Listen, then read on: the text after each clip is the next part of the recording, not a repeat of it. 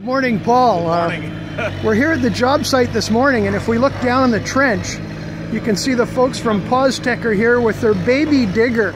I mean, I could have fit that thing in the bucket of some of the stuff I used to sell. Anyway, they're, uh, they've got a big trench here, and it's holding up really well because of the cold ground in the upper part, and then down the bottom, the organic material, the peat moss, has got so many roots in it that it's not sloughing in. And if you look way down here in the hole, you can see the first screw pile. But uh, in this trench, we will have uh, screw piles, I'm going to guess at about 20, 20 foot centers. And this is what the actual screw piles look like. And then we have to weld on top of those a steel uh, channel.